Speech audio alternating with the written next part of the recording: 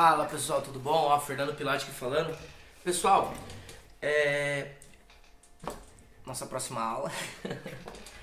pessoal, hoje eu vou estar falando sobre um assunto que tem tudo a ver com bateria, coordenação motora. Eu vejo muitas pessoas, às vezes, comentando comigo, falando: Nossa, eu adoro bateria, eu gosto muito do instrumento bateria, só que eu não tenho coordenação. Aí eu chego para essas pessoas e falo assim: Você não precisa ter coordenação para tocar bateria. Mas como assim? Precisa de coordenação, vejo você fazendo tal. Não precisa, pessoal. Sabe por quê? Porque quando eu comecei a tocar bateria, eu não tinha coordenação. Talvez eu tinha coordenação para virar uma chave do, do portão de casa, para abrir uma geladeira, para dirigir um carro, para mexer no mouse do computador, porque eu lembro quando eu comecei a aprender a mexer o mouse do computador, o, o ponteirinho lá em cima, mas nunca acertava onde eu queria. Então, pessoal, o que eu quero explicar para vocês é o que? Coordenação precisa? Não. Você precisa treinar a sua coordenação quando você vai tocar bateria. Como assim? São memórias musculares, né? É igual quando você está assistindo televisão, por exemplo, e você nem olha mais o controle, você sabe exatamente onde estão tá os pontos e você aumenta o volume, você muda de canal, você entra lá no Netflix, você vai mudando, fazendo as coisas, desliga a televisão sem olhar. Por quê? Você já criou uma memória muscular, né? Daqueles movimentos, aonde tem que ir. Então a bateria, pessoal, é exatamente a mesma coisa. Quando a gente cria uma memória muscular, você tem que treinar muito e ela é uma memória muscular, ou seja, é um movimento que você vai ficar fazendo repetidamente, né? Vai estar sempre repetindo o mesmo movimento e vai acontecer naturalmente. É igual o carro, por exemplo. Vou dar um outro exemplo. No meu caso, para quem nunca dirigiu um carro, eu vou explicar para vocês. Tem um volante aqui, que é onde você mexe a roda para o seu carro virar. Ó, oh, já vi meu papai fazendo isso, beleza. Temos a marcha, que é para você aumentar a velocidade do carro. Conforme você vai aumentando a velocidade do veículo, você tem que mudar a marcha do seu carro, para o seu carro andar mais rápido, andar mais devagar, dar ré. Tem a embreagem lá embaixo, tem o freio, tem o acelerador, né? Três pedais. Você fala, caramba, tem que fazer tudo isso para dirigir o carro? É, é uma coordenação, é uma memória muscular. Eu lembro quando eu comecei a aprender a dirigir que quando eu apertava a embreagem, o volante quase virava junto. Tem pessoa que não, não acontece, mas tem pessoa que acontece. Põe a língua para fora. Você tá engraçado, né? Jogar videogame também, né? É uma memória muscular.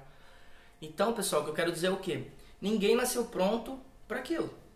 Ninguém nasceu pronto para tocar bateria. Ah, mas eu já vi um menininho asiático de 5, 6 anos tocando batera. Sim, mas ele não sabia como que tocava. Provavelmente alguém mostrou o primeiro movimento para ele e por um, uma facilidade, né, que, é, que é o, o pessoal fala que é o dom, aquele menino desenvolve muito mais rápido. Então, pessoal, a coordenação são memórias musculares, ok? Então não tem como eu pegar isso aqui, entregar na mão de uma pessoa que nem sabe como se chama a bateria e falar toca. Ela não vai tocar. Ela vai fazer barulho, mas tocar, tocar não. Vai ter que alguém ensinar, mostrar os primeiros movimentos. Aí a facilidade é o que vai determinar se aquela pessoa vai aprender rápido ou não. Beleza? Pessoal, para esse exercício, o que a gente vai fazer? Você vai ter aqui, ó, seu pé direito, ó eu, perna direita, perna esquerda. Muito simples, a gente vai fazer um movimento assim, ó. Ó, mão direita com a sua, sua deixa eu tirar isso aqui da frente. Ó, mais para trás, certo? Deixa eu baixar aqui. Ó, ó ficou bom.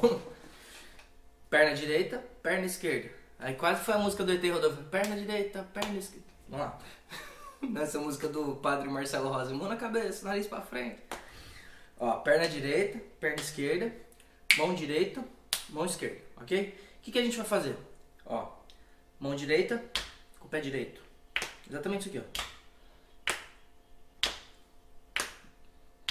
Vamos contar? Um, dois, três. Um, dois, três, quatro. Um, dois, três, quatro. Beleza, né? Facinho, né? Poxa vida, isso é coordenação? É, é um jeito de coordenação. Ó, você está movimentando o seu pé direito, você está trabalhando lateral, vamos dizer assim, a lateral do seu corpo aqui, ó. O lado direito e o lado esquerdo. Muito simples, ó. Juntinho, ó. Três, quatro. Tá tendo dificuldade? Fica repetindo até conseguir. Quem tiver dificuldade, tá bom? Agora o que a gente vai fazer? A mão direita vai continuar batendo aqui, só que vai ser com o pé esquerdo, ó. Certo? Ó. Um, Aí depois, mão, mão esquerda com o pé direito. Ó, um, dois, três, quatro. Um, dois, três, quatro. Um, dois, três, quatro. Um, dois, três. Vai aumentando. Um, dois, três, quatro. Um, dois. Você viu? Agora você usou sua mão direita com seu pé esquerdo.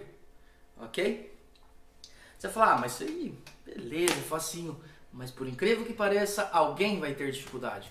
Então essas pessoas que tiverem dificuldade, repitam mais vezes, porque lembra que é uma memória muscular. Ó, peguei um, dois, três, quatro. Um, dois, três, quatro. Um, dois, três, quatro. Facinho, né? Agora, pessoal, o que, que a gente vai fazer? A gente vai fazer assim, ó. A gente vai colocar o E. Um E, dois E, três E, quatro E. Um E, dois. Só a perna direita. Um E, dois. Um, o E sozinho. Dois E. Três E. Quatro E. Fechou? Um E, dois E, três E, quatro E. Um E, dois E, três E, quatro. Beleza? Isso é bem facinho, tá, pessoal? É só pra gente dar uma introdução na coordenação. Agora a gente vai começar com a mão esquerda e nosso pé de, a nossa perninha direita aqui. Um E. Ó, o E, o E sempre sozinho. Um E, dois E, três E, quatro. Um E, dois E, três E, quatro. Um E, E, três E, quatro. Pegou aquele exercício? Faz esse aqui agora. Beleza. Dá uma descansadinha. Agora a gente vai fazer quem? Pezinho esquerdo aqui que só tá dando risada assistindo o outro praticar. Vamos lá. Um E. Dois. Agora é sua mão direita com seu pé esquerdo. E o E sozinho. Um E. Dois E. Três E. Quatro E. Um E. Dois E. Três E. Quatro E. Um E, dois E, três E, quatro E, um. Beleza. Agora a gente vai fazer o quê? Mão esquerda, começando com sua perna esquerda. Um E, dois E, três, quatro E, um E, dois. Pessoal, isso é uma forma de coordenação, tá? O que acontece? A gente está trabalhando para marcação de tempo com a nossa perna direita e esquerda. Quando você está tocando bateria, não sei se vocês já perceberam, mas tem o chimbal, que são aqueles dois pratinhos que ficam do seu lado esquerdo. Às vezes você pode estar fazendo marcação com o pé. Então esse tipo de exercício já te auxilia para aplicação da marcação com o chimbal, que vai dar todo um efeito. Às vezes vai tocar um ritmo específico, que tem que usar o ride, que é um prato grandão que fica aqui do lado direito, e o chimbal fazendo uma marcação. Então, isso é uma forma de coordenação motora, tá? Pessoal, é, é bem simples, igual eu falei, uma pequena introdução pra gente saber como que funciona e a respeito da memória muscular. Lembrando, pessoal, que a parte da memória muscular tem que ser exercitada. Se você quer que ela aconteça naturalmente, como a gente está conversando, você tem que treinar, você tem que praticar, ficar horas e horas praticando. Adquiriu facilidade para fazer aquilo, está conseguindo fazer de uma forma natural, é sinal que você já está, é, vamos dizer assim, incorporando a parte da, da memória muscular. Tem exercícios na batera que você pega, às vezes você vai pegar um ritmo brasileiro, ó, por exemplo, vou dar um exemplo aqui para vocês. O desenho dos pés no ritmo brasileiro, samba, é assim, ó.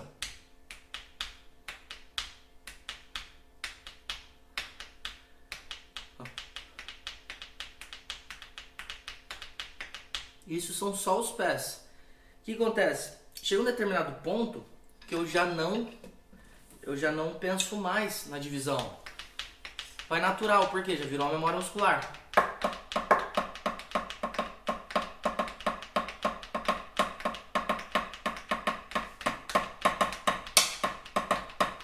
Certo?